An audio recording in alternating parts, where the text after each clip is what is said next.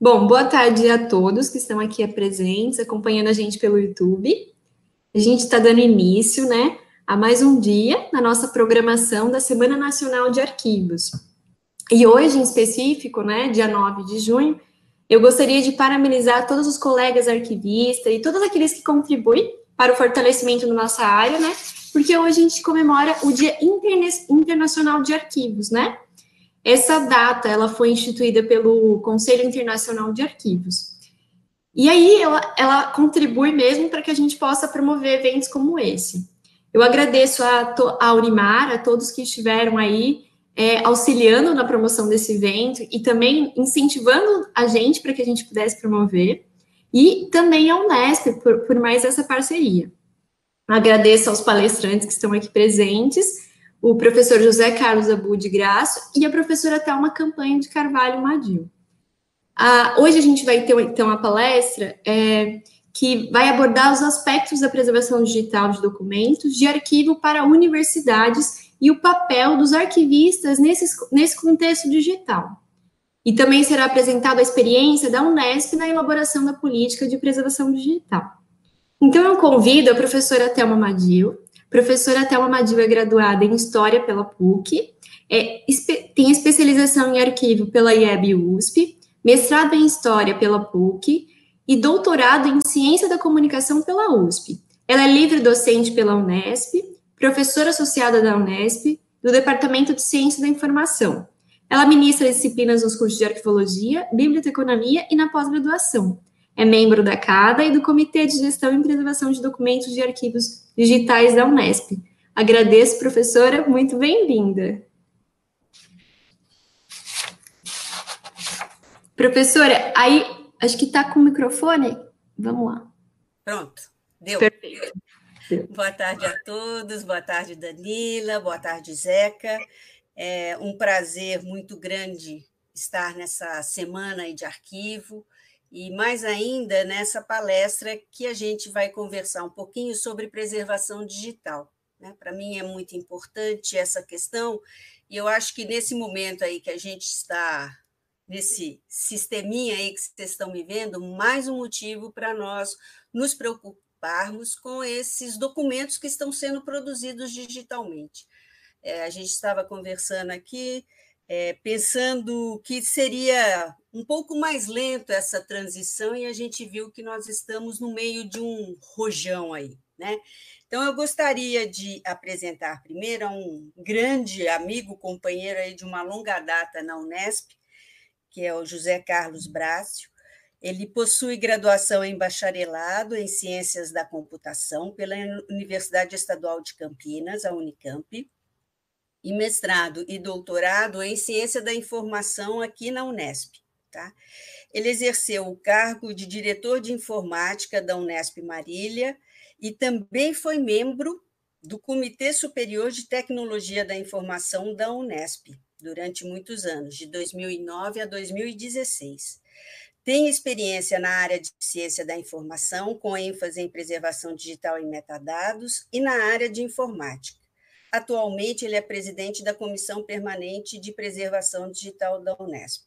Antes que o Zeca comece a falar, o José Carlos Abu de Grácio, eu gostaria só de é, falar que assim é uma parceria que todos os arquivistas deveriam fazer. É essa que nós temos com o Zeca. Tá? Ele é da informática e a gente tem uma colaboração muito respeitosa, tanto no que os arquivistas preconizam né, e querem defender para a área, como ele, no papel da área de informática, a nos explicar as maneiras mais fáceis de fazer essa ligação. Tá? Então, eu acho que vai ser uma palestra muito rica e depois a gente vai conversar um pouco mais sobre isso. Zeca, bem-vindo, a palavra é sua. Boa tarde, Thelma. Boa tarde, Danila. Boa tarde a todos e todas. Em primeiro lugar, parabéns para os arquivistas, né, pelo seu dia, né? É, eu, quando comecei essa parceria com o pessoal aqui da Unesp, com a Thelma e com outros colegas, né, eu aprendi bastante sobre a área de arquivo. Não sou especialista em arquivo, mas aprendi bastante. Eles me ensinaram bastante né? Então é que a Thelma falou, acho que essa parceria ela tem sido fundamental. Eu vou compartilhar aqui o vídeo é, da apresentação, aí vocês me falam se está aparecendo aí ou não. Está aparecendo? Tá sim. Tá, eu vou pôr no modo slide, tranquilo, né? Então tá bom. Bom, é, vamos começar então. Ah, o objetivo hoje da apresentação é discutir com vocês o contexto, os aspectos da preservação digital, igual a Danila falou, né? É, para documentos de arquivo. A gente vai falar também da política de preservação digital é, da Unesco, como a gente está tá implantando essa política, né? E como os arquivistas se inserem nesses desafios, né? A gente estava conversando, que a Thelma falou antes aqui, a gente tinha um, um, um, uma ideia de como a coisa iria andar, né? E com essa pandemia a coisa está andando mais rápido do que a gente imagina, né? Bom, para começar, vamos lá. Uh, enquanto né, que a preservação dos documentos é, em papel, eles exigem dos profissionais cuidados com relação à luminosidade, umidade, o manuseio do papel ou do livro, né, não comer, não beber, não armazenar alimentos próximos a esses documentos e os espaços é, para poder armazenar esses documentos em papel, os desafios da preservação digital, elas são outros, tá? Elas estão relacionados com a, a informação digital. Então, elas, é, os desafios estão relacionados à obsolescência, né? A obsolescência do hardware e do software, a obsolescência dos formatos dos arquivos, a obsolescência das mídias de armazenamento, né? É, a gente vê que hoje em dia a gente tem na própria casa da gente um monte de CD com informação e hoje em dia a gente já está comprando os notebooks sem leitura de CD. Né? Então, a mudança tá nas mídias de armazenamento, nos formatos, nos hardwares, ela é muito rápida. Além disso, a, a, quantidade de informação digital que tem sido produzida né, nas instituições, no mundo, na casa da gente, é, é, tem crescido de uma forma exponencial e o desafio é de como buscar e recuperar essa informação. Também tem a questão dos custos de tudo isso, né? Custo de investimento, custo de hardware, custo de software, custo de mídia, né? Que eu costumo chamar de investimento, né? Ah, outra questão importante é a capacitação das pessoas, dos recursos humanos, né? Então, ah, dentro das instituições, as pessoas que trabalham com informação digital, o documento de arquivo em formato digital, eles precisam ser capacitados, a instituição precisa pensar nisso. E é outro desafio que a gente tem na preservação da informação digital, é uma questão de cultura, ou seja, como as pessoas é, assimilam essas mudanças que estão acontecendo no mundo digital. É a questão da cultura organizacional. Todo mundo sabe que mudar a cultura não é fácil, é demorado. E a gente está num, num, ambiente de mudança muito rápido, em que a gente precisa se adaptar muito rápido, né? A gente de uma hora para outra precisou começar a aprender de qualquer jeito usar, né? É, é, é, Hangout e outras ferramentas de videoconferência. Dentro das universidades, é, isso não é diferente. A gente lida com uma quantidade enorme de informação digital nas áreas de ensino, na área de pesquisa, né? Teses, dissertações, dados de pesquisa, que é outra questão que está em discussão é, dados de extensão, dados administrativos, dados de comunicação, as nossas páginas web, e-mail como documento de arquivo, fotografias, programa de rádio e TV, as videoconferências, né, que a gente está fazendo agora, como que a gente vai preservar isso, né? Informações em museus e bibliotecas também. E aí a gente vai estar tá falando hoje, então, dos documentos de arquivo em formato digital. Uh, e por que preservar esses documentos de arquivo em formato digital? Esses documentos, eles fazem parte do patrimônio histórico e cultural das, das universidades, das instituições de ensino, eles fazem parte da memória. Então, é, nós temos que preservar isso, né? Outro, outro motivo são as questões legais, né? Existem leis que nos obrigam a isso. É, existem, é, a gente estava conversando um pouco antes da reunião da lei de acesso à informação, ela começou, é, a gente vai ter que tratar a informação, porque agora nós temos que responder para os nossos usuários que demandam informação das nossas universidades. Essa questão das leis eu vou falar um pouquinho mais para frente. E também pela necessidade dos nossos usuários. Então, acho que esse tripé, manter o patrimônio, atender a questão legal e atender os nossos usuários, é o que nos motiva a preservar os documentos de arquivo em formato digital. Né? E aí, quando a gente é, pensa no documento de arquivo em formato digital, na preservação deles, muita gente pode pensar, beleza, então vamos é, preservar os documentos permanentes no meu ambiente de preservação digital. Não é só no ambiente de preservação digital e não são só os documentos permanentes. A gente também tem que pensar na preservação digital dos documentos correntes intermediários que estão no meu ambiente de gestão, que estão no meu SIGAD, no meu sistema de gestão arquivística de documentos. Eu tenho sistemas ali que cuja frequência de uso são vários anos. Então, durante esses anos, eu posso ter necessidade de substituir a mídia de armazenamento, mudar o formato dele, ou seja, aplicar uma estratégia de preservação é, digital nele. Mas, afinal das contas, né, o que é preservação digital? Eu sempre começo assim: preservação digital não. O que não é preservação digital? Preservação digital não é backup muitas pessoas que não conhecem a área, não conhece, é, é, uma, é uma área de pesquisa, não conhecem a área, imagino que o simples fato de eu pegar e fazer backup de um, de um arquivo digital, eu já vou estar preservando. E não é. Como a gente viu, tem questões relacionadas à obsolescência, tem do hardware, do software, do formato, de tudo mais, tem a questão de mudança cultural, tem questão de investimento, então a preservação digital é muito mais do que fazer backup. Uh, a preservação digital ela envolve vários aspectos ela envolve as questões dos aspectos técnicos, né, do computador, do backup, mas ela envolve também questões administrativas, de custo, de pessoas, de responsabilidades. Ela envolve questões legais, né, de garantir direitos autorais, de atender leis. Né? Ela envolve a, a mudança de cultura dentro de uma organização, as mudanças nas tecnologias. Ela envolve você garantir a autenticidade daqueles documentos de arquivo em formato digital que você está preservando, né? E ela é, é, é, ela também envolve uma coisa importante. Não adianta nada eu preservar se eu não der acesso para as pessoas a esses documentos de arquivo preservado. Mas qual é a definição de preservação digital? Existem várias definições de preservação digital, né? Eu trouxe uma delas para vocês. É, o que é a preservação digital?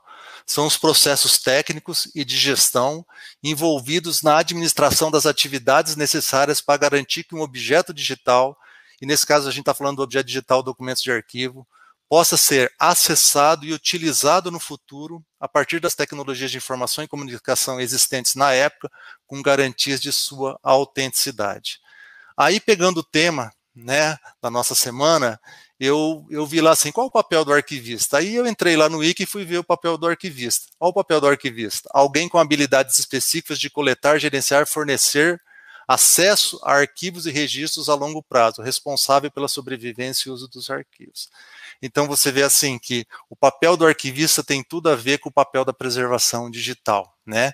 Ou seja, é, dá acesso a longo prazo, no futuro, para esses documentos de arquivo que são preservados, garantindo sua autenticidade. A autenticidade é garantir que aquele documento ele é o que ele, que ele fala que ele é, né? Ele é o que é é, garantindo o quê? Garantindo que ele nunca foi alterado, nunca foi modificado, então é garantindo a sua integridade, né? E garantindo também é, todo o ciclo de vida desse documento, todo o registro do ciclo de vida desse documento, ou seja, né, garantindo a sua, a sua longevidade. Bom, a, quando a gente fala de preservação digital, a preservação digital já vem sendo pesquisada há muito tempo. Né, nós temos pesquisas e estudos realizados durante muito tempo com relação à preservação digital. É, e um dos modelos de preservação digital mais aceitos e utilizados no mundo é o modelo OAIS. O que é o OAIS? O é um esquema conceitual que define e modela o que é preciso para desenvolver um sistema de armazenamento, de preservação e acesso da informação digital. Esse modelo ele acabou se tornando tão importante que ele é uma norma ISO, a norma ISO 14721 de 2012, que é a segunda versão, a primeira versão é de 2003. E no Brasil, é, essa norma foi traduzida né, para uma norma BNT-NBR 15.472 de 2007.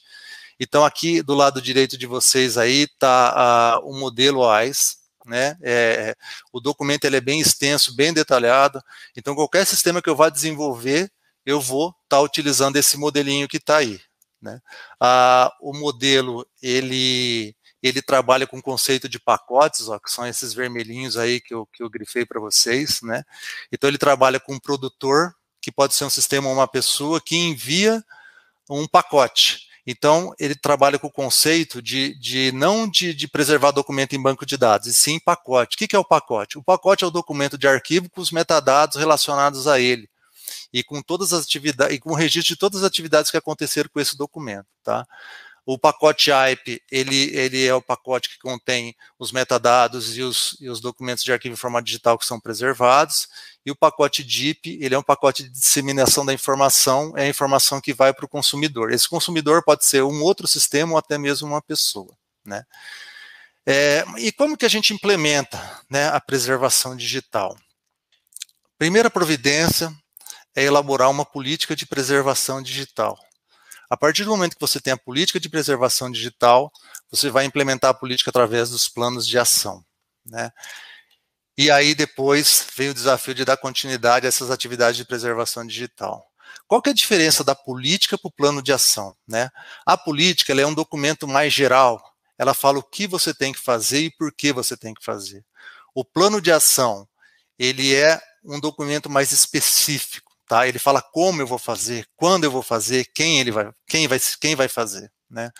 Eu vou dar um exemplo assim, na política você coloca lá assim, é necessário investimento permanente na preservação digital. Na sua política você escreveu isso. No plano de ação você vai colocar, em 2020 nós vamos estar investindo, sei lá, 100 mil reais na preservação digital, sendo 80 mil reais para infraestrutura e 20 mil para capacitação e treinamento.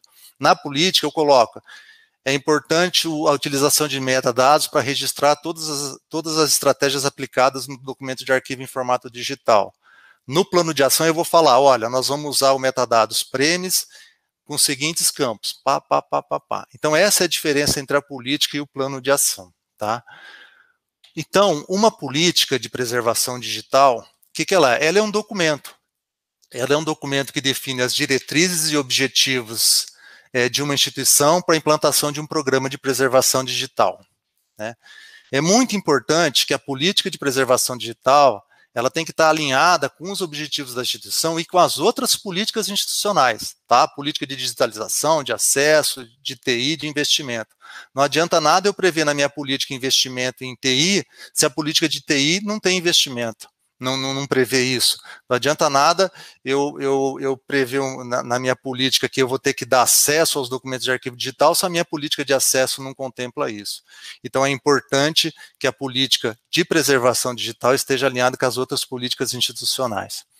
Ela deve ser adequada ao longo do tempo, de acordo com as mudanças nas tecnologias de informação e comunicação. Ela deve abranger todos os elementos relacionados à preservação digital, e a gente vai falar desses elementos logo, logo a seguir. E outra coisa importante, ela deve ser elaborada por uma equipe multidisciplinar. Não adianta você colocar um cara de TI para escrever uma política de preservação digital para documento de arquivo. Não adianta você colocar só, uma, só um arquivista, ou só um, um, gestor, ou só uma pessoa da área jurídica. É importante você ter uma equipe é, com profissionais de várias áreas, porque cada um vai dar sua contribuição para esse documento política de preservação digital, para documentos de arquivo. Ah, a política de preservação digital ela deve levar em consideração os elementos da preservação digital, as mudanças e avanços nas tecnologias de informação e comunicação e na cultura organizacional. Vamos falar um pouquinho da cultura organizacional. A mudança na cultura organizacional ela ocorre por quê? Porque a preservação digital envolve todas as instâncias de uma instituição, desde o criador do documento de arquivo até os responsáveis pela preservação digital. Então, os processos de trabalho que vão mudar é, os processos de trabalho envolvidos na preservação digital, eles, eles alteram a rotina e as atividades dessas pessoas. Então é importante que essas pessoas entendam isso. Isso é uma mudança de cultura. Nesse, nesse momento atual, as, a, essas mudanças de cultura organizacional elas estão sendo que ser aceleradas por conta de todo o contexto que a gente está vivendo atualmente. Né? Bom, quais são esses elementos de preservação digital, então, que, que, que estão relacionados, que devem aparecer numa política? Então, a, a gente é, lista aí é, os elementos que devem estar presentes numa política de preservação digital. Então, são os elementos são divididos em três grupos, né? Organizacionais, legais e técnicos. Vamos falar de cada um desses elementos aí. Ah, ah, os organizacionais, eles dizem respeito à gestão da instituição, Tá? Então, a primeira coisa é objetivos da instituição, ou seja, é importante inserir a preservação digital nos objetivos da instituição, como uma forma de garantir a continuidade dos processos. Tá? Até porque as universidades elas mudam de quatro em quatro anos. A cada quatro anos nós temos mudanças de gestores, né? E então é importante que a política garanta a continuidade dos processos.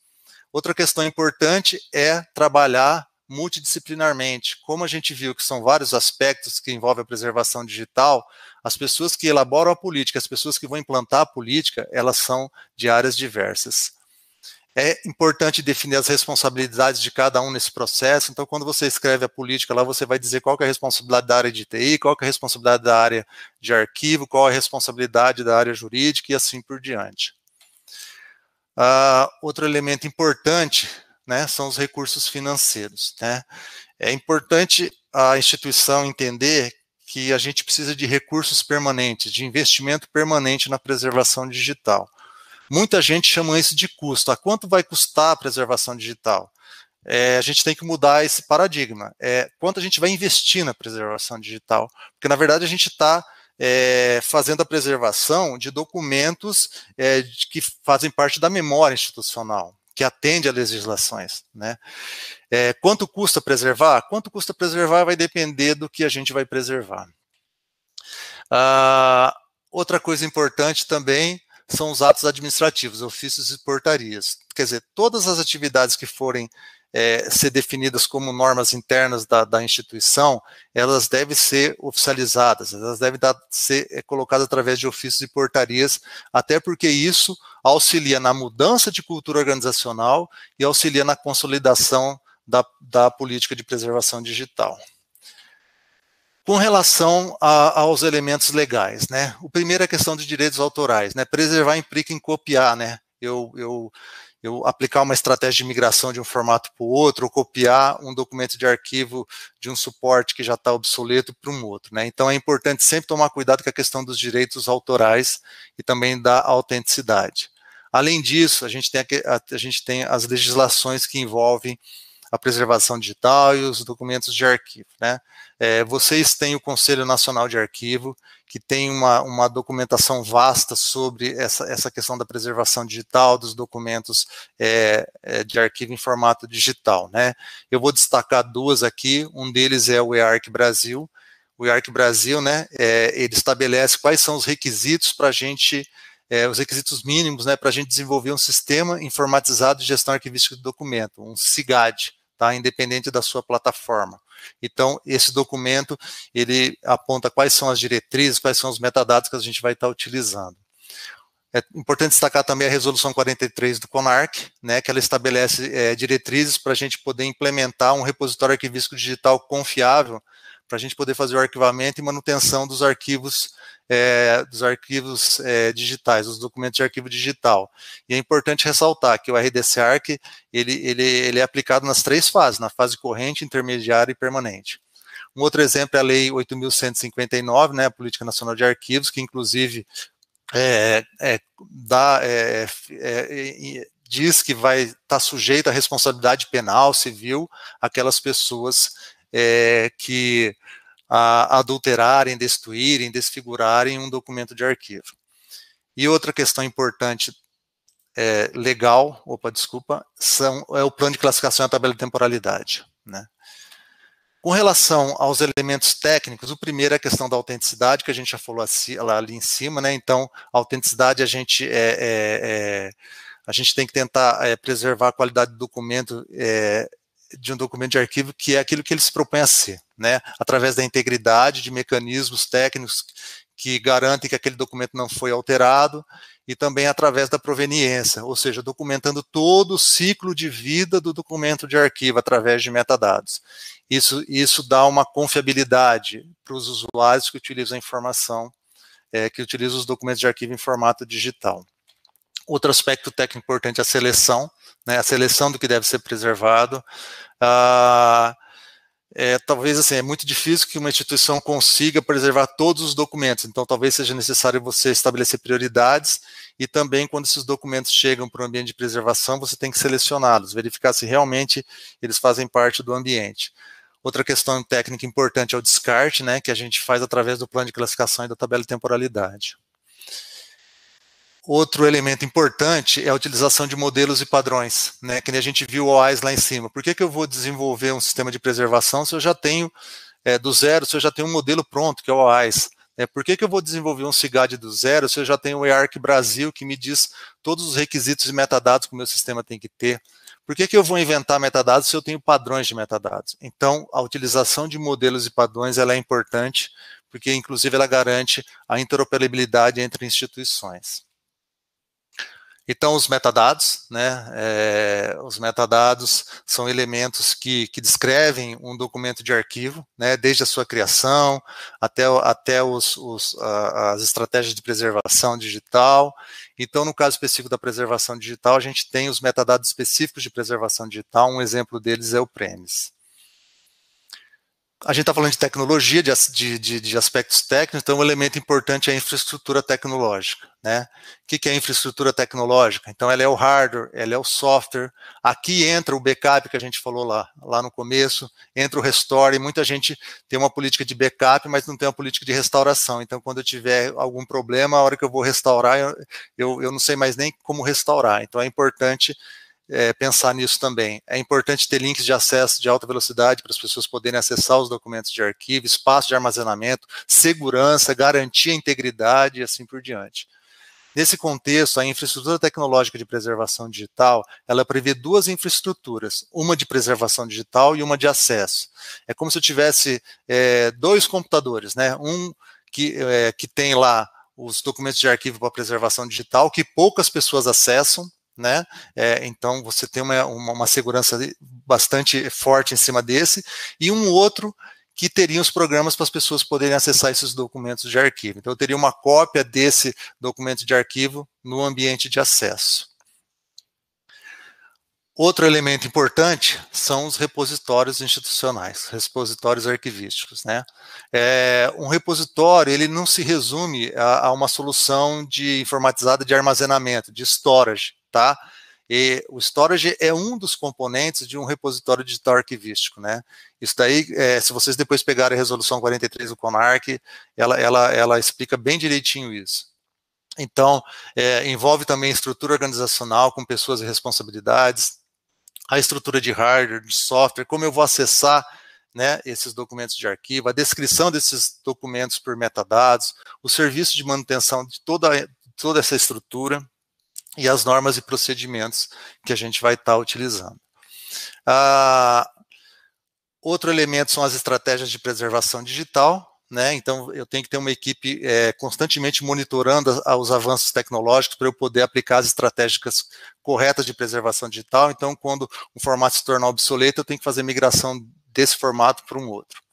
É importante a gente participar de iniciativas, estabelecer parcerias com outras instituições, tá? Isso agiliza imensamente o trabalho de preservação digital. Isso agiliza a elaboração da política, isso agiliza a implementação de soluções. A gente destaca aqui a rede cariniana de preservação digital, que é ligada ao IBICT. A questão, o elemento acesso, o acesso à política deve, a política de preservação digital deve mostrar que, que a instituição está preocupada com o acesso aos seus documentos, e a questão da auditoria, né, que existe um consenso geral na comunidade que auditoria e certificação são bem-vindas nas organizações. Com relação à Unesp, a política de preservação digital de documentos de arquivo da Unesp, ela levou em consideração é, todos esses conceitos e modelos. E como que ela foi desenvolvida? Em 2010, 16, a gente, é, a gente conversou na CADA que a gente precisaria desenvolver uma política de preservação digital para documentos de arquivo.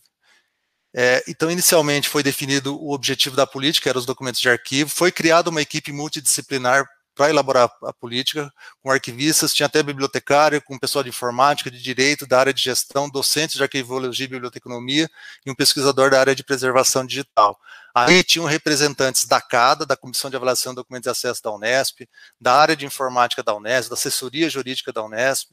Então foi uma equipe é, é, com conhecimento de diversas áreas. A primeira coisa que essa equipe fez foi igualar os conhecimentos sobre preservação digital e gestão documental. Então, o cara de TI não sabia o que era gestão documental, né? E, e o cara de gestão documental, às vezes, não, o arquivista, o bibliotecário, não, não sabia exatamente o que era preservação digital. Então, a gente fez essa, essa um círculo de palestras aí para entender como funcionava. Depois disso, a gente analisou as políticas que existiam no Brasil e fora também no exterior.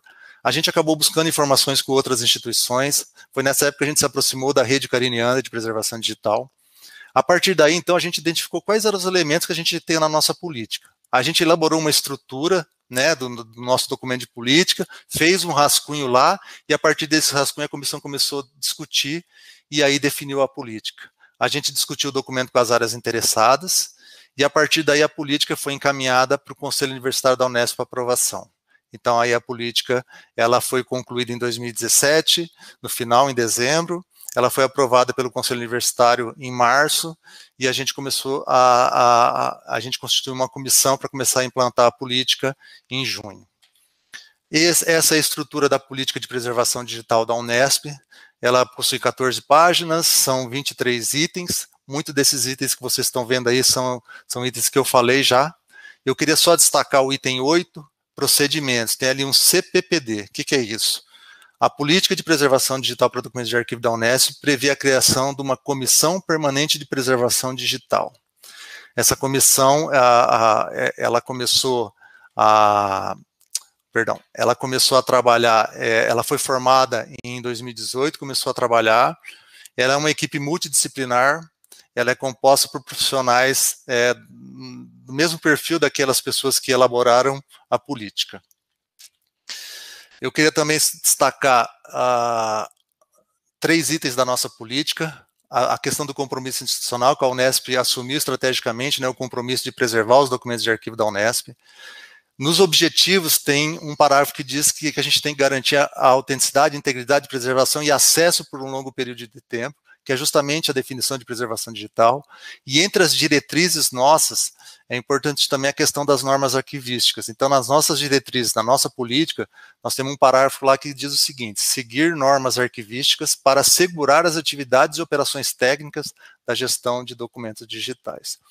A gente começou a implantar a, a a política de preservação digital na Unesco, né, sempre pensando em garantir a autenticidade.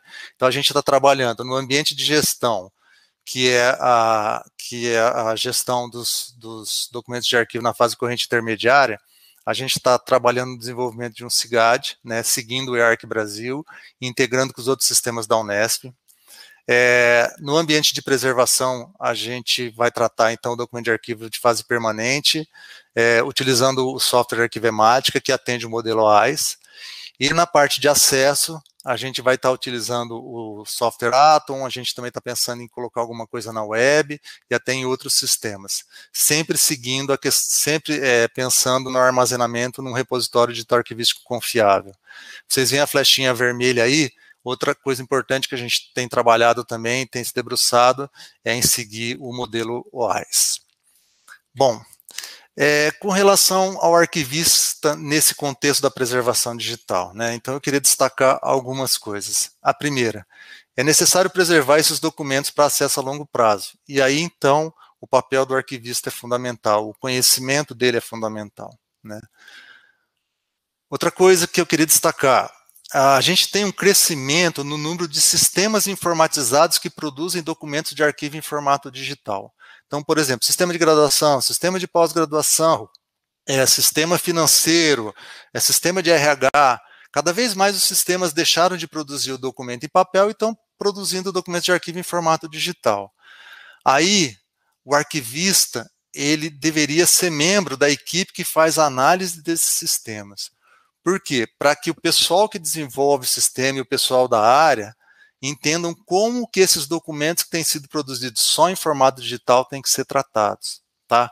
Como que eles vão interagir com o CIGAD, como que eles vão depois para o meu ambiente de preservação digital.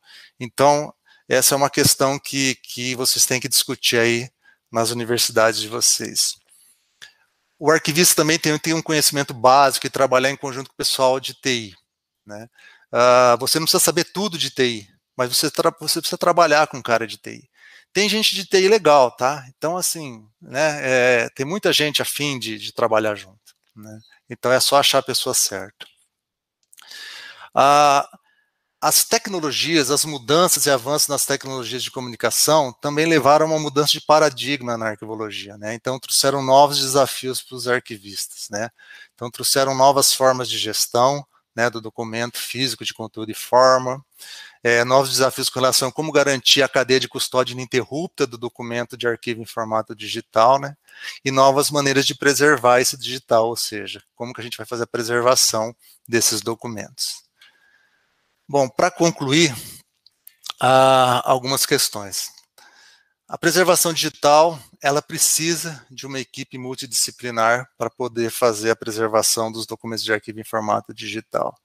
Então, é, tem que ter o arquivista sempre presente, tanto na, tanto na elaboração da política, quanto na implantação da política. Estabelecer parcerias também é fundamental, agiliza muito o processo. Mais ou menos isso que a gente está fazendo aqui hoje, a gente está numa parceria discutindo a preservação digital. Ah, a informação digital, ela vai exigir das instituições profissionais que saibam fazer a gestão desse tipo de informação. Então, é necessário a gente qualificar, né, a gente qualificar líderes e qualificar técnicos, né? Até ontem a professora Marta frisou bem essa questão da formação de líderes, né? É preciso também inserir a preservação digital nos cursos de graduação e pós-graduação. Né? Era importante que os profissionais de arquivo é, já saíssem né, dos seus cursos já entendendo tudo que tem que, quais são os elementos que fazem parte da preservação digital, como tem que se trabalhar e assim por diante. Também é, existe uma necessidade de conscientizar a gestão das instituições, reitor, pró-reitor, assessor, da importância em preservar os documentos de arquivo em formato digital, não só a área de TI. Eu vejo alguns documentos que falam assim, é importante conscientizar a área de TI, também, mas eu acho que mais importante do que a área de TI, realmente é a gestão das instituições. Se a gestão não quiser fazer preservação digital, não vai ter preservação digital. O arquivista pode querer, o cara de TI pode querer. Então tem que começar lá por cima, né? Tem que começar convencendo os grandão. Ah, o arquivista ele deve trabalhar com a informação digital, né? E seguir modelos e padrões é, nós temos, então, é, o EARC Brasil, que nos mostra como desenvolver um CIGAD, o RDC Arc como ter um repositório confiável, nós temos o CONARC, nós temos o modelo AI de preservação digital, nós temos padrões de metadados, então não tem necessidade de reinventar a roda, é importante usar os padrões e modelos que a gente já tem na preservação digital. Eu acho que esse contexto que a gente está tendo aí é um contexto de maior valorização do arquivista na gestão dos, dos documentos do arquivo em formato digital. Claro que vão mudar as atividades, mas assim, acho que o papel do arquivista ele vai ter, ele, ele é muito valorizado nesse contexto todo. Ah, não é só preservar, tem que dar acesso aos documentos de arquivo com confiabilidade, né? É, lá atrás aquela história, não basta guardar na caixinha de backup, né? A gente precisa dar acesso. E eu vejo também assim o arquivista com uma postura de gestor dos documentos de arquivo em formato digital, para que a sociedade possa se empoderar dessas informações. E aí eu copiei um trecho do que a Marta falou ontem, propiciando condições necessárias para o acesso, recuperação, compartilhamento, uso e reuso dos dados, informação e conhecimento. Bom, é, era isso que eu tinha para passar para vocês. Aqui estão algumas referências né, do OAIS, de alguns autores aí é, que trabalham nessa área de preservação digital de documentos de arquivo, né? O Miguel Arellano, Daniel Flores, Humberto Narelli, né? É isso. Eu agradeço a oportunidade. Thelma, com você aí. Pois é, obrigada. É, eu acho que foi fundamental né, você ter colocado todas essas esses pontos e essas questões, né? Eu acho que o importante é os arquivistas, nós percebemos que assim não, não adianta só a boa vontade, né? por isso que é necessária a implementação de uma política que seja reconhecida e legalizada pela instituição. Né? Porque a gente vê muitas pessoas, ah, eu fiz isso, ah, eu vou fazer aquilo, e não adianta, né? Se a instituição não tem esse reconhecimento e não legaliza essas ações, né? Então, eu acho fundamental a gente perceber que, que é, essas discussões e a implementação da política é primordial para qualquer nova ação que aquela instituição vai tomar. Agora, tem uma coisa, Zeca, que assim, você mostrou muita coisa, né? Acho que, que todo mundo já ouviu falar de tudo isso, os pacotes DIP, IP, né? Os arquivistas já têm uma coisa, mas uma, um dado que nos preocupa é basicamente assim: como que eu aplico o maldito metadado? Né? Como é que eu vou fazer isso nos meus documentos digitais? Né? Então, eu gostaria que, é lógico que nós não temos tempo, né? isso seria um, só a parte, mas em uma, uma coisa bem geral assim, e tem gente perguntando também já, como que é? Uma coisa um pouquinho mais geral sobre os metadados, Zeca. É, que nem você falou, né? Muita coisa para falar em pouco tempo, então, né? A gente podia ficar aqui a tarde inteira falando. Uh, metadados, né? Primeiro que são metadados. Muita gente fala dados sobre dados. Eu até me arrepio. Falo, pelo amor de Deus, não são dados sobre dados, né?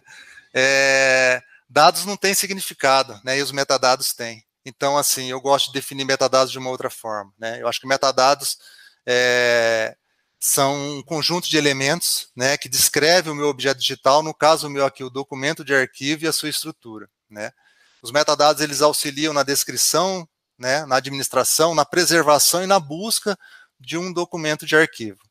E é o equivalente ao plano de classificação da tabela de temporalidade na arquivologia. Né.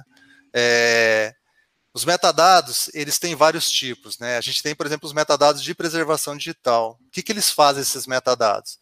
Eles registram quais são as estratégias de preservação digital que foi aplicada naquele documento de arquivo em formato digital durante o seu ciclo de vida, tá?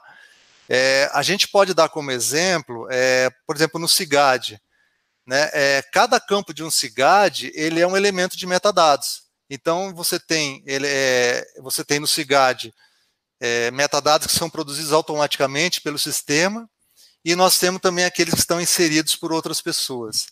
Então a gente pode ter como exemplo uh, de metadados que são gerados automaticamente. Quando eu pego um documento de arquivo e jogo para dentro de um CIGAD, o CIGAD já reconhece o formato do arquivo é um metadado, a data e o horário que aquele arquivo foi produzido é um metadado, né? O nome do arquivo é um metadado. E a gente também tem metadados que são inseridos pelas pessoas, pelos arquivistas, pelo próprio criador do objeto digital. Por exemplo, o assunto daquele documento, quem é o interessado, a classificação do documento que é importantíssima num documento de arquivo, porque ela vai me dar né, é, a relação com a tabela de temporalidade, quer dizer, quanto tempo eu tenho que guardar esse arquivo, né, é, eu tenho que preservar esse arquivo, o responsável pela assinatura do documento. Então, a gente tem vários padrões de metadados, né, e vários para vários tipos de objeto digital. Então, o metadado é isso. Então, quando eu insiro, por exemplo, um documento de arquivo dentro de um CIGAD, não vem só o documento, aquele pacotezinho lá, né, CIP, ele é o documento de arquivo e esses metadados todos. Tá ok? Ah, e aí a gente tem, então, ah, o ARC Brasil define para a gente claramente quais são os metadados necessários para um CIGAD, né? Aí você fala, quais são os metadados de preservação digital? O, o padrão Premis também me dá uma, uma definição de quais são esses padrões. Então, esse é o conceito assim, de metadados de uma forma resumida, né, Thelma? Ótimo, Zeca. Obrigada. É, eu sei que assim, são. O EARC são 94 campos, não é isso? Para a gente descrever o documento, não é isso? É. São campos que são obrigatórios, são campos que são facultativos, são campos que são altamente recomendáveis para você colocar no CIGAD, né? É, a gente tem que estudar. Ó, tem uma pergunta aqui do Bruno Henrique Machado. Como a política de preservação digital da Unesp pode garantir cadeia de custódia ou cadeia sistêmica, conforme o Daniel Flores está colocando, né? com diversos sistemas de negócio, graduação, pós-graduação, gestão de pessoas. Desculpa, quem que fez a pergunta? Eu não anotei o nome. Bruno Henrique Machado. É. Bruno, é, essa é uma pergunta que todo mundo se faz, né? Como garantir a cadeia de custódia ininterrupta, no, no, né? Preservação digital sistêmica. Esse é o desafio mesmo, né? Eu, é, A gente está trabalhando agora na Unesp com a questão do CIGAD, né? Já produzindo documento digital dentro do sistema, tá? Já é, tramitando dentro do sistema e já é, sendo integrado com a arquivemática. Então, a gente tem procurado buscar garantir essa cadeia de custódia ininterrupta, é, tentando é, fazer com que o documento de arquivo ele seja todo é, todo o seu ciclo de vida seja ah, documentado através dos metadados, tá? É, a gente tem implementado é, soluções de integridade desses documentos. Então, por exemplo, a gente está preocupado em criar checksums para esse documento quando ele entrar no nosso SIGAD. Ou seja, é, não sei se vocês sabem o que é checksum, né? Hash, é, ele é uma cadeia assim, você pega um arquivo digital, você aplica um, um, algoritmo, ele gera uma cadeia de caracteres e números, tá? Se você alterar um bitzinho do teu arquivo, aquela cadeia muda. Então, se você periodicamente pegar o seu documento de, de documento de arquivo formato digital, gerar esse hash, ele tem que bater com aquele que foi na sua criação lá. Se for diferente, é sinal que o documento não está íntegro. Então, a gente, é, a gente ainda não trabalhou dentro da Unesco a integração com nenhum outro sistema institucional. Por exemplo, a gente ainda não trabalhou a integração com o sistema de graduação, com o sistema de pós-graduação. Mas a ideia é que essa integração ela seja, seja feita toda via sistema, para que não haja assim, é, é, é, o documento não se perca ao longo disso tudo, né? Mas é um desafio realmente você é, você garantir a cadeia de custódia ininterrupta, né? É, tem outra aqui, Zeca. É, eu só queria falar também que assim a gente não consegue fazer essas alterações em todos os sistemas. A gente tem que ir por parte, né? E vamos testando. Por enquanto, aqui na Unesp, é o CIGAD que a gente está pensando né? É um sistema que trabalha com os processos, então é uma parte fundamental para a, a, a, dinâmica da, da universidade. Né?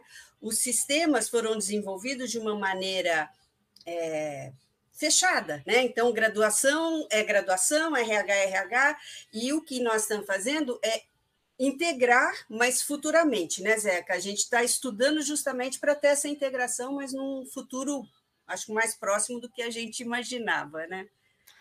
É, tem é. uma outra aqui, Zeca, que é da Scan System. Olha só, eles entendem disso. É, boa tarde, parabéns pela apresentação. Pensando a longo prazo, e aqui falando em 50, 200 anos, como dar acesso a documentos digitais criados hoje e a política, ela prevê uma migração de suporte constante e com todos os seus custos implícitos, alguma sugestão de suporte de longo prazo, onde as imagens possam ser gravadas hoje e serem recuperadas daqui 200 anos sem a necessidade da migração constante? O pessoal Essa... System. É, é... A, é, a, política, a nossa política prevê isso, né? A nossa política prevê assim, que você vai ter é, pessoal, uma equipe que vai estar tá monitorando né, as mudanças que vão ter nas tecnologias de informação e comunicação. Quando tiver uma mudança dessa, a gente vai ter que aplicar uma estratégia de preservação digital nos nossos documentos de arquivo que estão lá, né, ou no nosso CIGAD ou no nosso Arquivemática. Né. Então a gente vai aplicar a estratégia de preservação digital nesses documentos. Qual estratégia a gente vai aplicar? Claro que vai depender da época. Né? Ah, o importante é que você é, faça a migração para uma plataforma ou para um suporte ou para um, um, um formato que seja atual. Então, a gente imagina que daqui 200 anos a gente vai ter aplicado várias estratégias de preservação digital nos nossos documentos de arquivo. Né? Espero que dê certo até. Eu não vou estar aqui para ver, mas espero que dê certo até lá. E, e, e é importante por conta disso, ter aquela equipe multidisciplinar. É importante ter o pessoal de TI junto. Né? O pessoal de TI vai sinalizar para a gente os momentos em que a gente tem que aplicar alguma estratégia de preservação digital. E essa estratégia ela tem que ser documentada pelos metadados, né? os metadados de preservação. A princípio, a gente está pensando em usar o PREMIS, né? É, então, isso me garante uma maior autenticidade do documento. Né? é, é importante também a gente é, pensar que uh, essas estratégias, elas não podem ser, ressalto sempre isso, né? Ela não é aplicada só no ambiente de preservação, tá? Pode ser que eu tenha necessidade também de aplicar no meu CIGAD, por causa daquilo que eu falei, eu posso ter documentos de arquivo que estão, de repente, circulando por, por vários anos e estão em uso ainda por vários anos. Então, por isso que, mesmo no CIGAD, a gente tem que estar tá pensando na parte de preservação digital. Acho que respondi, Thelma. Acho que sim, Zeca. Acho que sim. Acho que é, é importante a gente é, perceber que nós é, dependemos né, é, da questão da informática para saber como serão realizadas essas migrações. Pode ser que daqui a alguns anos alguém descubra uma forma que não vai precisar mais fazer migração. Né? É. Mas aí a gente não tem como prever essas coisas. É, eu, se a gente eu... pensar, é a mesma é, é, a elaboração do papel, né? São vários tipos de papel. Uns têm uma durabilidade maior, outros, né? Na época da guerra, quando você imprimiu, o papel se desfazia, papel jornal. Então, acho que é a mesma coisa é com a informática, né? É. Ter esse, essa, esse desenvolvimento aí do, do tipo de, de suporte. Né? Eu não falei da parte financeira, né, que ele falou também, né? Na, na, nossa política, a gente colocou lá a necessidade de recursos permanentes para a preservação digital na política. E como plano de ação, a Unesco tem um plano diretor de, de investimentos, né, um PDI, né, em que todo o dinheiro ele é dividido entre as áreas dentro da universidade. Então a gente conseguiu ano passado colocar uma rúbrica no PDI da Unesp é, da preservação digital. Né? Eu lembro que o ano passado foi 5 mil reais, não dava nada. Mas beleza, a gente queria estar lá presente. Esse ano a gente já conseguiu um pouco mais. A gente já conseguiu 100 mil reais. Com essa pandemia toda, tiraram um monte de dinheiro da gente, né? Mas tudo bem, faz parte, né? A gente entende a situação. Então, a gente é, vai é, conseguir uh, resolver o problema financeiro tendo a preservação digital inserida nos objetivos da instituição através de uma rúbrica lá com dinheirinho. Pode ser pouco, mas é importante que ela esteja lá. Então, acho que isso foi um ganho muito importante. Depois que a gente é, aprovou a política, né, Thelma? Acho que isso foi um ganho super importante para a gente poder implementar assim, todas as atividades de preservação digital que a gente está implantando dentro da Unesp. Então, isso é uma coisa importante também para as instituições que querem, sabe? Dá um jeito de colocar, né, o, uma rubriquinha lá na, na, parte orçamentária da tua, da tua instituição. É porque é, é, não vai ter outro jeito. Se a instituição não investir, né, ela não vai ter mais os documentos. O papel é diferente do digital, que o papel está lá jogado, né? a Danila conhece essa realidade, está jogado em algum canto, em alguma gaveta de um ex-funcionário, a gente ainda encontra. O digital, se não tiver essa preocupação, daqui a alguns anos a gente não vai encontrar nada. Né? Então, é, é por isso que é, na arquivologia a gente é, é está, né, a área está entendendo que o foco não é mais a preservação, não é mais o permanente, mas é a gestão, é a produção documental, né? Porque se a gente não faz todas essas operações que você está mostrando aí na política de preservação, esse documento vai se perder. A gente não vai ter acesso, né?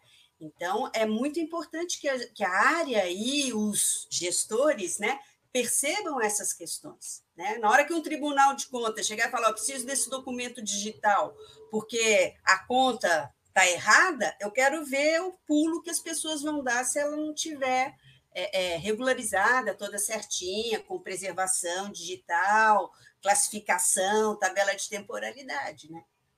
Eu não acho o meu documento, né? Então, vamos lá. Mais alguém? Tem uma aqui, ó, Heloísa Nascimento. Não, não, não Gabriel, Gabriel. Gabriel, é Gabriel. Você está vendo aí, Zeca? Então não preciso ler, né? É, eu vou ler aqui para você, então. Tá bom, então. Ó, o Gabriel, o Blaster, acho que é isso, né?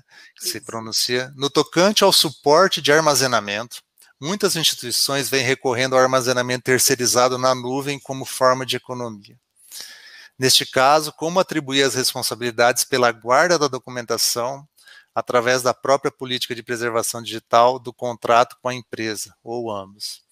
É, essa é uma situação complicada, né? Você está colocando toda a sua, o seu patrimônio, né? Toda sua memória na mão de terceiros, né? É claro que o ideal é o quê? É que a gente consiga ter dentro da instituição é, pelo menos a infraestrutura de preservação digital dentro da sua instituição. Eu estava conversando um pouco com a Danila antes da gente, da gente começar hoje aqui, né? A gente estava falando da questão das parcerias, né? É, por exemplo, com instituições, por exemplo, com a rede cariniana. Então, a gente, é, de repente, uma solução é você participar dessas parcerias, né, e poder, de repente, estar tá fazendo a preservação distribuída, né, então você está é, colocando, por exemplo, cópias é, dos seus documentos de arquivo em outras instituições parceiras, né, a rede cariniana, ela tem um software chamado LOX, que, os que as pessoas que fazem parte da rede têm acesso a isso, então, por exemplo, as minhas teses, as teses de dissertações da Unesp, né, por exemplo, elas vão estar na Unesp e também vão estar é, como cópia de segurança em outras instituições. Eu acho muito complicado você colocar na mão de terceiros. Eu me lembro que eu dei um curso no SESC em São Paulo de preservação digital, e na semana que na, eram cinco semanas, e na primeira semana tinha uma empresa de nuvem que fechou. Ela mandou um e-mail para as pessoas, falou assim: olha, daqui uma semana, você faz cópia das suas coisas, daqui uma semana a gente vai tirar tudo da nuvem. Né? Aí quem não viu o e-mail em uma semana perdeu tudo. Então eu acho bastante temerário você colocar na mão de terceiro. Né? Eu estou dando a responsabilidade pela, pela, pela guarda do meu documento para uma empresa de terceiro. Então eu acho que tem que se buscar soluções alternativas, parcerias com outras instituições. De repente isso é uma saída para isso. É, eu brinco muito que assim a nuvem pode chover, né? a nuvem chove, né? e você pode perder todos os seus dados. Além do que, você fica refém né, de uma, normalmente, é, é o que a, que a gente mais conhece é o Google, né, mas tem várias, né, e a gente fica refém realmente dessas grandes multinacionais. Né? E é o que o Zeca falou, essa questão dos dados, são dados estratégicos, normalmente, que se coloca. Né? Eles estão à mercê de hacker e o que mais for, até o uso da própria empresa. É lógico que tem mil contratos, é, é, tem toda essa lisura da empresa, mas a gente né, deve sempre estar receoso quanto a essas questões.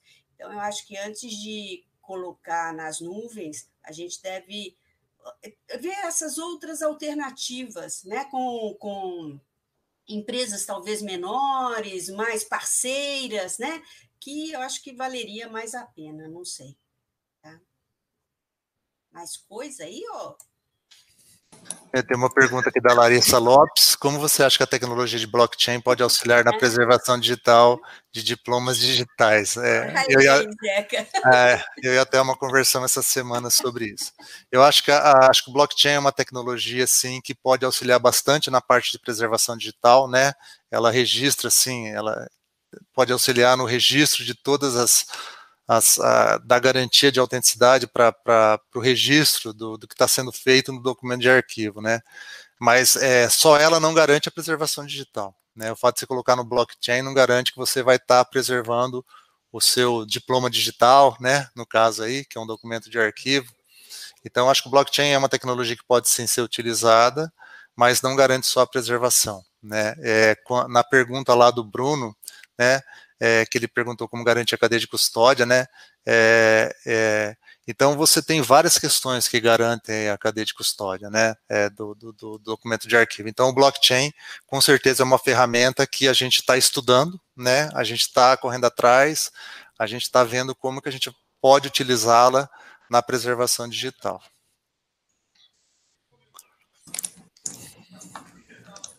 Eu tenho uma pergunta também, Zeca, queria fazer aqui. Professora Thelma também, né? Na verdade, é um, é um questionamento que a gente vê, porque assim, a gente está num momento híbrido, né? Então, a gente está tendo que tratar dessas preservação desses documentos digitais e, ao mesmo tempo, também que é que tem bastante documentação ainda que está no formato físico. E quando a percebe assim, a dimensão, né, o arquivista ele está tendo que ser mais do que nunca multidisciplinar, né, então tem que saber sobre gestão de projeto, planejamento estratégico, gestão de pessoas, preservação digital, são áreas muito específicas que às vezes é difícil para a gente conseguir é, ter ênfase em, em algumas delas assim com bastante propriedade. Então acho que vista disso, acho que a equipe multidisciplinar ela é realmente fundamental. Mas eu queria saber de vocês é, como que vocês estão fazendo, é, em termos práticos, aí na Unesp, para tratar disso? Por exemplo, vocês estão fazendo, estão definindo prioridades, por exemplo, ah, a gente vai cuidar primeiro do setor de graduação, a princípio dos documentos é, em fase permanente. Como que vocês estão fazendo isso, assim, na Unesp, para começar a trabalhar é, com a preservação digital? Eu falo, Thelma, depois? É, bom. Pode falar, pode falar, depois eu ah, falo. Tá, a gente, a gente começou a trabalhar, que nem eu falei para você, né, na produção de documento em formato digital dentro do CIGAD. A gente começou com, com, com, com ofício, né, e aí depois a gente vai estar tá migrando para os processos. Então, nesse caso, a gente vai ter uma fase híbrida aí. A gente vai ter ofício sendo produzido em formato digital, que em algum momento precisa ir para dentro, por exemplo, de um processo, né? E esse processo é físico. Então, a, a gente já pensou em algumas soluções para isso, né? É, mas esse é um desafio realmente. Você vai ter um momento de transição, porque você não consegue pegar todos os documentos de arquivo em formato digital, né? De um momento para o outro, pegar né, do, do, do formato em papel e jogar para o digital. Então, a gente tem trabalhado isso. A gente até achou uma solução para isso, né? A gente vai ter que, assim, é, é realmente colocar aquele documento digital no papel, né, com QR Code lá, com, com, com, uma garantia de autenticidade daquele documento, colocar ele dentro do processo físico mesmo, né, e a gente vai ter um, um dispositivo em que eu checo se realmente aquele documento é autêntico, tá? Então, por exemplo, isso é uma solução que a gente já está estudando de como fazer né? Como acho que até o SP sem papel faz, alguma coisa assim, né? Você tem vários, alguns sistemas assim. Então, uh, mas a gente vai, acho que qualquer instituição vai ter que conviver com esse ambiente híbrido, viu, Danina? Então, assim, e aí cada instituição vai ter que analisar. No nosso caso, para essa situação específica, a gente está a gente está trabalhando dessa forma. Thelma? É, é, é o, o sonho de todo mundo, é, acho de toda instituição é ter uma equipe enorme, né, que possa fazer, né? Então, uma parte vai atacar a graduação, a outra vai fazer o RH, a outra vai fazer. É, a gente sabe que não existe isso, né? As instituições não vão investir é, tanto assim, né, que a gente vai conseguir trabalhar todos os documentos. Né? Então, o que aqui na Unesp a gente é, optou em fazer foi é, começar pelo CIGAD. O CIGAD, o que, que é que a gente implementa? É o, um programa muito bem elaborado pelo pessoal da informática da Unesp, que controla é, o trâmite documental. Por enquanto, não é digital, né? ele só controla o físico. Mas o que a gente está estudando é quando esses documentos começarem a ser digitais, como é que vai ser, que é o grande volume, né? E que acaba sendo dos processos. Então, processo do, dos professores, processos dos técnicos administrativos, todos os, tudo acaba na Unesp, particularmente, né, e na, na, nas, nas, instituições mais públicas, né, em processos. Né? O que fica faltando, que para a gente é um pouco até frustrante não poder trabalhar, é a questão da graduação né? Mas é, é também o sistema já está, de uma certa forma, é, fazendo, é lógico que precisa ter a preservação digital, precisa ter outros recursos, mas assim, a gente já tem um sistema trabalhando na graduação e na pós. Né? Então, a gente está, de uma certa maneira, depois é só migrar esses que já estão digital para o sistema da preservação digital. Então, a gente pensou em trabalhar essa questão que não estava em nenhum tipo de sistema, que são esses processos. E é um volume, na realidade da Unesp, é o maior volume documental que a gente tem. Né? Então, até para fazer a questão do descarte dessa documentação, porque senão gente ia guardar tudo. Né? Então, a gente optou por isso. Né? E, e, assim, o ideal era fazer tudo ao mesmo tempo agora, mas não tem verba porque não tem pessoal treinado para isso. É, a gente, agora nessa pandemia, está sendo até bom que a gente está se reunindo mais de duas vezes por semana para discutir metadados desses documentos. Então, demanda tempo também. Não é uma coisa assim, ah, vamos aplicar e a gente aplica. Pode até ser, mas a gente sabe que não é o adequado, não é o correto né? Porque tem inúmeras empresas aí que chegam e falam, não, vocês já devem ter recebido, né? E não Unimar várias pessoas. Eu vou fazer a digitalização dos documentos e vocês vão ter acesso. Acesso vocês vão ter, mas não vai ser a preservação digital. Né? Então, é isso que a gente tem que pensar como arquivista: o que é melhor? Fazer uma coisa rápida, sem critério, e, pensando nessa questão da durabilidade, da confiabilidade e da autenticidade do documento, né? ou faz só para ter acesso. Né? Então, essa realidade é, é, é, é, é premente, a gente tem várias empresas trabalhando, que é, é legal você ter o acesso, mas não estão pensando na preservação digital. Tá? Em termos de. Ontem eu queria falar um pouco, mas não deu, sobre o curso de arquivologia, como é que a gente está vendo. Cada vez mais o curso e coordenador e, e a né, departamento, a gente está vendo a necessidade de investir nessas essas disciplinas ligadas à tecnologia. É que é difícil a gente romper com uma tradição que tinha muito mais no permanente do que no corrente, né, na área da arquivologia. Mas a gente está discutindo com os nossos alunos, é difícil, né, porque a gente também, até a, a comissão para fazer os trabalhos é difícil essa implementação, imagine em sala de aula a gente trabalhar com tudo isso. Muitas vezes a gente não consegue os recursos, né, Zeca? A gente não consegue acessar, é, as pessoas se fecham às vezes muito e não divulgam, é diferente do que a gente está tentando fazer na Unesp, essa experiência a gente acha rica em divulgar, em mostrar e socializar para a gente aprender. É assim que a gente aprende. Né? Então, agora, a gente vai ter uma nova reformulação aí a gente pretende lançar mais disciplinas para trabalhar e para discutir essas questões do digital. Tá?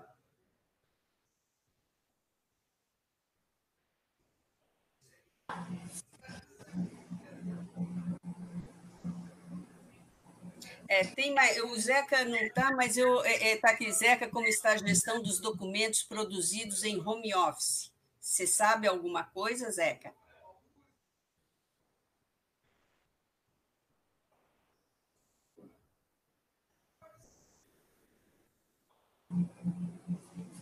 Eu acho que teve algum problema técnico, ele já deve estar. Já voltou. Ele voltou. Voltei. ele voltou. Você sabe alguma coisa sobre essa gestão, Zeca, dos documentos produzidos em home office? Ah, é, eu vi que foi uma pergunta da Gabriela, né? Da Gabi lá do Rio. É. Oi, Gabi, tudo bom com você? Quanto tempo, hein? Conheço ela, gente boníssima. É... Então, a... tem algumas situações, né? A gente, na verdade, você tá trabalhando meio com exceções, né, Gabi? Então, por exemplo, a gente é gestor de contratos, né, de terceirizados aqui. Então, todo mês a gente pega a documentação do contrato, né? E anexa no processo e leva lá para a seção de materiais. Como não tem ninguém trabalhando, eles abriram uma exceção. Então, por exemplo, a gente está é, pegando esse documento, né, ficando com esse documento em mãos, né, é, informando para a sessão que aquele documento está ok. E aí, quando tudo isso acabar e a gente voltar, né, aí a gente vai pegar realmente esse documento em papel e levar lá. Então, estão sendo abertos algumas exceções, né, para você poder é, tramitar documentos, né? Esses documentos não estão sendo assinados digitalmente, tá? A gente não tem, né? Eu não tenho, por exemplo, uma assinatura digital da Unesp para assinar esses documentos, nenhum sistema desse. Então a gente está lidando realmente num momento de exceção, né? Com abrindo algumas exceções. As sessões técnicas de comunicação, né? Também estão estão trabalhando dessa forma, né? Fazendo várias várias várias autuações aí na, na casa deles, né? E depois provavelmente vão estar montando certinho aí a documentação. Você tem mais alguma informação, Thelma? Não, não, sobre isso não. É, eu, mas é isso, viu, Gabi? A gente está trabalhando na, na base da exceção. Ó, me sumiram todas as perguntas aqui, tá? Porque acabou caindo, eu entrei de novo, então. Tá, então, então eu vou ler a tá. próxima para você. é da Maria Valci de Lima. Boa tarde, professores. Tenho uma pergunta: existe alguma peculiaridade em relação ao documento fotográfico digital em relação ao textual? Nossa, aí a Thelma pode falar de braçada, porque a área de pesquisa dela. Não, imagina, Zeca. Né? Imagina, é. pode responder aí. A Thelma pode dar. Né, até. É, né, Thelma, você está participando aí de um evento aí que está falando exatamente sobre fotografia, né? Isso, é do Instituto Moreira Salles, é. para quem quiser, toda terça-feira, às 17h30, daqui a pouco começa, está muito interessante é com o Milar, tem vários convidados, com a Joana do Instituto Moreira Salles, e eles estão justamente discutindo, Maria Valci, essa questão do documento fotográfico digital e as dificuldades que os fotógrafos que trabalham com digital eles estão tendo para para preservação, né, mesmo do, da fotografia. Então, é, é, seria interessante, se você tem interesse, participar e ver mas é, é, tem muita diferença do, do textual, né? Não, não, é a mesma coisa, você tem que gravar com, de outra forma, é, é, é totalmente diferente do textual, tá? E como você sabe, você está fazendo o curso de arquivo, é, a, a questão do, de trabalhar a fotografia nos arquivos também é uma coisa que é sempre deixada de lado, né? E essa discussão é, já vem de longa data. O digital continua a mesma coisa, tá? mas é bem diferente tá? a, a, a fotografia para o textual. O tratamento é outro. Mas continua. é. É, e continua tendo a necessidade também de você descrever por metadados, né, Thelma? Também, a mesma coisa. A fotografia é essas que vocês tiram na, na, na, câmera. Se vocês não colocarem metadados, vocês vão perder daqui a alguns anos. Vocês não vão localizar, pelo menos, né? Não adianta só pôr em pastinha, ou então você vai ter que, daqui uns 50 anos, abrir todas as pastinhas para achar uma fotografia. Então, tem que colocar metadados e ter uma base, uma coisa para você fazer a pesquisa, senão você não localiza. Tá? Então, tem que tomar cuidado. Fotografia a gente produz muito facilmente, né? Só fazer assim, puf, eu já produzi. Só que ela não está mais em papel, jogada na. Né? Mesma coisa. Aí no digital eu não acho. Né? Eu perco muito facilmente. E para preservação digital também vai ter que ter uma política de seleção, né? Porque a gente, a gente tira um monte de fotografia e tal, então você tem que ter uma política de seleção do que vai ser preservado, né? Mas mesmo no papel, Zeca, a gente também precisa fazer seleção, a gente tem que fazer uma avaliação, não se guarda tudo, em nada, né? É uma briga que eu tenho com o pessoal de conservação, preservação de fotografia, porque eles guardam tudo. Eu acho que não, né? Eu sempre trabalhei em instituição que produz muito, muita fotografia.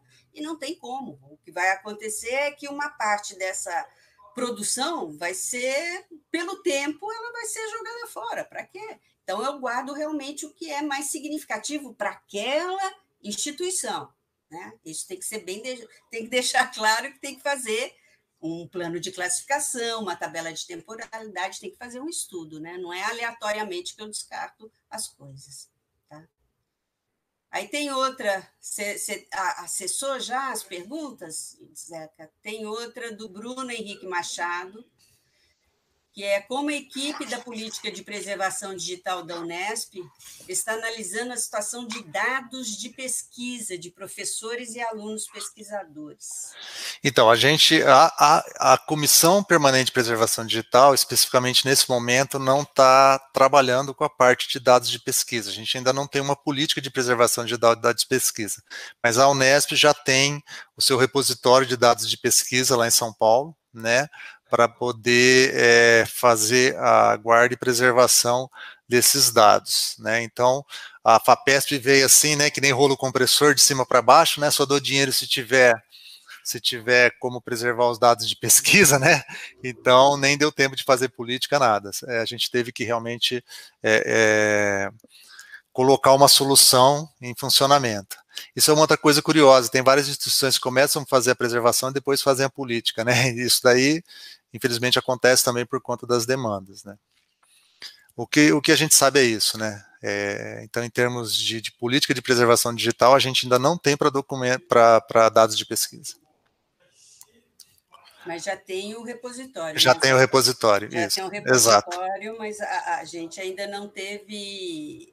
Não deu tempo de escrever a política. Não deu tempo, é, não conseguiu chegar é. lá.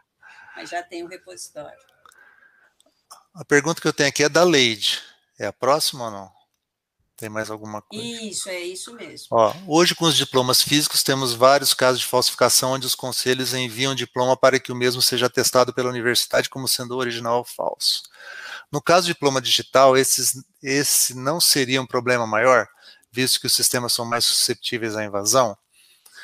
Ó, é, a gente tem, a gente é, já está trabalhando com a elaboração do diploma digital. Inclusive, né, falando de parcerias, né, a gente fez uma visita na Unicamp, que já tem o diploma digital. Então, como que funciona o diploma digital? Né? Primeiro que ele é assinado digitalmente por uma assinatura digital reconhecida pelo ICP Brasil. Tá? Então, o reitor lá que assina o diploma lá é uma assinatura reconhecida pelo ICP Brasil. Esse diploma, ele pode ser só digital, né? Ou você pode também, em algum momento, querer imprimir esse, esse, esse diploma. Quando a gente esteve na Unicamp, o pessoal comentou que diminuiu em mais de 50% a impressão de diploma, né? Realmente as pessoas agora estão usando mais o digital. Quando você vai num concurso, você leva lá o diploma, o seu diploma digital, né? Que tem assinatura digital. E aí, para você realmente ter certeza de que aquele diploma é autêntico, não, né? Você entra no sistema e você checa se realmente aquele diploma é autêntico ou não. Quando ele é impresso no papel, você tem, por exemplo, você pode ter, por exemplo, um QR Code, né, que você entregou o diploma em algum lugar, a pessoa vai lá, escaneia aquele QR Code, né, e aquilo lá vai levar para um site institucional que vai te mostrar, né, se aquele documento ele é autêntico ou não. Ou seja, se é uma cópia, é, é, é uma cópia se ela realmente ela é o que o documento é, é de fato, né? Então, eu acho que assim, no caso do digital, não é um problema maior essa questão da, da falsificação tá? É, a gente sabe, né, que o digital também não é tudo 100% seguro, né? Mas eu acho que é, essa estrutura de, de, de, de você aplicar a, a, a, descrição correta do diploma, de você assinar ele digitalmente, de você jogar ele no ambiente de preservação digital, tá? Então também ele tem que estar no ambiente de preservação digital e no ambiente de acesso. Tá? A pessoa quando vai acessar lá para ver se o diploma é autêntico ou não, ele está acessando o ambiente de acesso lá mas o meu diploma, eu tenho, né, o original dele está no meu ambiente de preservação digital. Então, é, eu não vejo isso como um problema maior. Né? Eu acho que a gente tem ferramentas que a gente consegue é, garantir a autenticidade do diploma digital. É, é só, só uma colocação, é, Leide, é o seguinte, é, o papel também né, permite qualquer falsificação.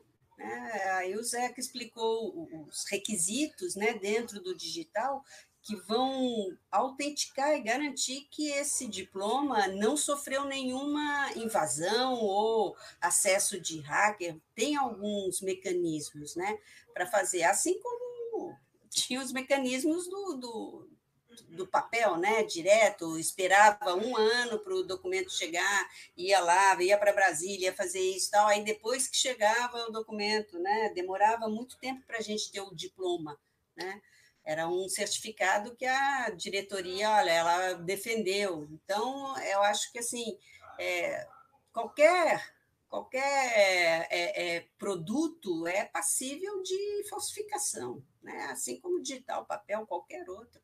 Né? Não vejo nem mais nem menos o digital. Tá?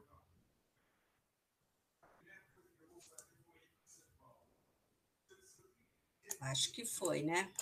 Perfeito. Acho que a gente não tem mais perguntas. Ótimo. Né? Espero que a gente tenha respondido.